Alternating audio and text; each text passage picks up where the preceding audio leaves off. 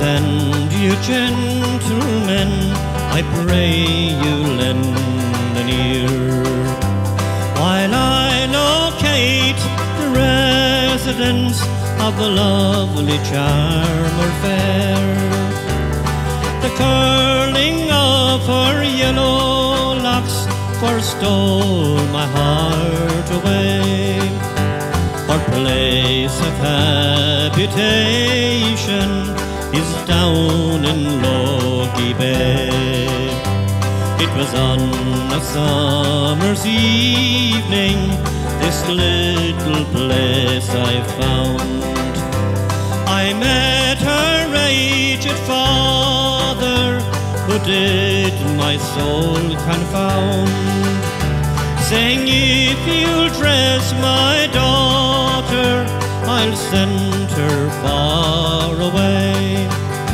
She never will return again while you're in Logie Bay.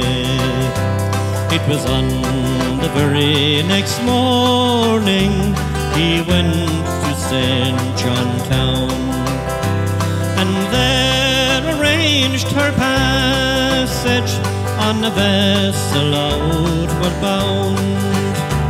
He stole away my heart's delight, he sent her far away. He left me here down a hearted far, the star of Logie Bay. And now I must go roving, I can no longer stay. I'll search the whole world every single way.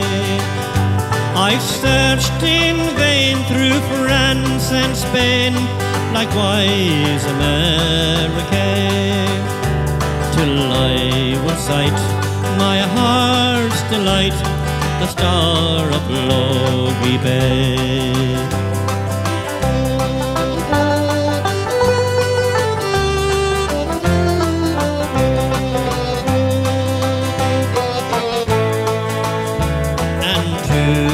Conclude my story, the truth to you I'll tell. Between Torbay and Outer Cove, this lovely maid did dwell.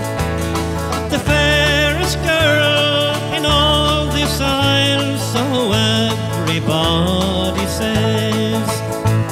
May the heavens above send down its love on the star of Logie Bay. May the heavens above send down its love on the star